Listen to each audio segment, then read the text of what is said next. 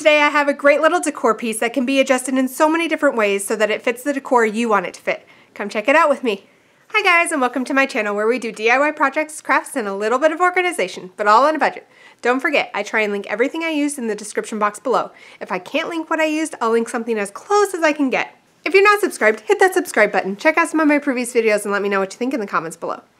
Today we're going to go ahead and participate in the DIY challenge. The theme is Valentine's Day, so thank you Heidi for hosting, and don't forget to check out her channel and the playlist linked in my description box. Alright guys, so to start today's project, I'm going to go ahead and take this shadow box from the Dollar Tree, and I'm using these tiny little screwdrivers to undo that sawtooth hanger on the back. So then you just pop the back out so you have two pieces. And I'm going to paint the outside of it with this lavender in the Waverly chalk paint, I ended up doing two coats of the lavender, and for the second coat, I added a little bit of white, just to lighten it up a bit.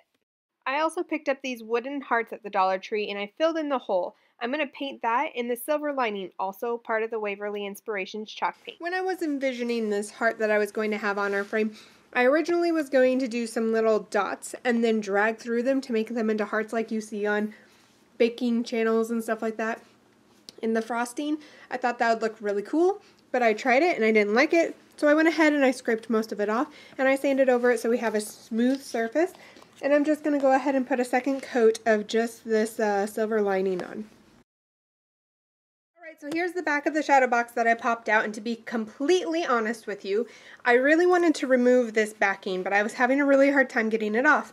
The more I thought about it, I was like, why am I so insistent on this? Because I'm covering it with cardstock, so it's not even going to show through. I'm going to go ahead and take this and I'm going to trace it on here and cut this size out.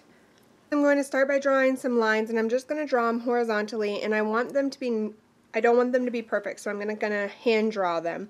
But there's several different options you could do. It would be really cool to put a picture on this background um, or have like a name on the background, something like that. What I'm going to do is I'm going to leave a space and I'm going to try and write be mine in kind of a elongated script. so we'll see if it works out. Once that's all done, we'll go ahead and glue it onto the background.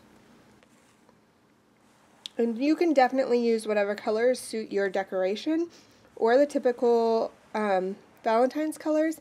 I'm going to be putting this in my children's room and so that is why I'm using the colors that I'm using.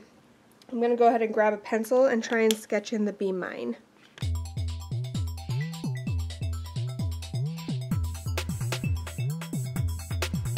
I'm going to take this Mod Podge and gloss and what I'm going to do is just put a little bit around the edges and stick it on there.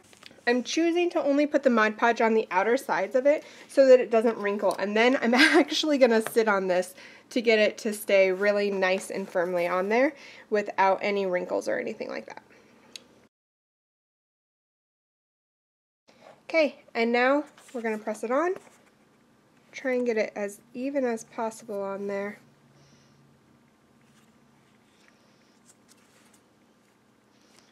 It's not like hot glue, so you can adjust it a little bit until you have it where you'd like it. And now I'm going to go ahead and sit on it so that it goes nice and flat. So our heart is mostly dry. I'm going to use some of this puff paint in white that I got from the Dollar Tree, and I'm just going to make some polka dots on there. You do have to be a little careful with puff paint because it can tend to have a mind of its own, but I'm not too particular in this being perfect.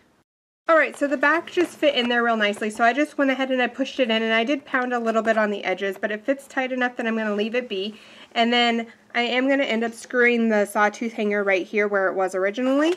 But for the front, I'm going to take the heart that we made, and I'm just going to hot glue it here.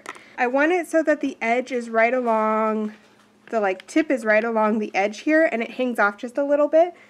And as you can see, I was testing mine out and I stuck my finger in it, but it was not dry, so I'm going to have to go ahead and correct those two dots. I think I forgot to mention this earlier, but I chose the colors that I chose to go with my daughter's room decor because this is going to hang in my daughter's room. Obviously, as always, you can definitely make this whatever color you want and adjust it however it fits your decor best. I'm so excited about how this turned out, and I can't wait to move it into the girls' room. Here's a final look at the project. I really hope you guys enjoyed. Thanks again, Heidi, for hosting. Don't forget to check out the playlist linked below, and I can't wait to do another craft with you next time. Bye-bye.